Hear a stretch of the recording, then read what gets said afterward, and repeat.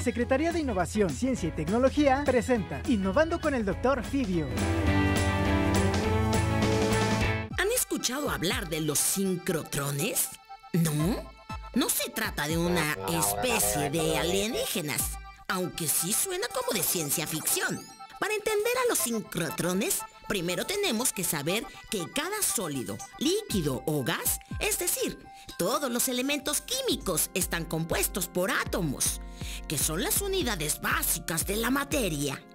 Y estos átomos a su vez se componen de tres tipos de partículas, protones, neutrones y electrones. Bueno, pues un sincrotrón es un dispositivo que utiliza campos electromagnéticos para acelerar electrones a velocidades superiores a 300.000 kilómetros por segundo, la velocidad de la luz. La energía que liberan los electrones al ser acelerados da como resultado un haz de luz, no más grueso que un cabello humano. Esta luz es la más intensa que se puede generar en el universo y al ser aplicada sobre cualquier tipo de materia revela detalles microscópicos con una precisión excepcional. Un sincrotrón es una poderosa máquina que produce de manera intencional este haz de luz y pertenece a una familia más amplia de máquinas conocidas como aceleradores de partículas.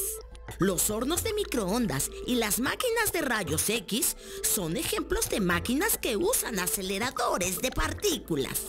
Las instalaciones necesarias para el uso experimental de la luz del sincrotrón no son tan pequeñas como un microondas. Un sincrotrón es la máquina más grande que el ser humano ha desarrollado. Cada línea de luz constituye un verdadero laboratorio para analizar muestras y procesar la información obtenida con la que se resolverán los problemas más variados, desde autenticidad de obras de arte hasta estructuras moleculares causantes de enfermedades crónico-degenerativas.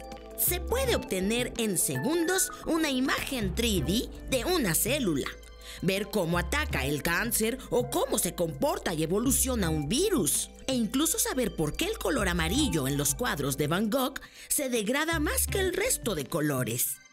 ¿Ya ven cómo los sincrotrones sí parecen de ciencia ficción? Existen muchos países que tienen al menos un sincrotrón. Sin embargo, en México aún no hay. Y digo aún porque la Secretaría de Innovación, Ciencia y Tecnología ya está haciendo gestiones a muy alto nivel para que se construya un sincrotrón en Morelos. Espero con ansia ese día. Solo así yo podré avanzar más rápido en mis inventos.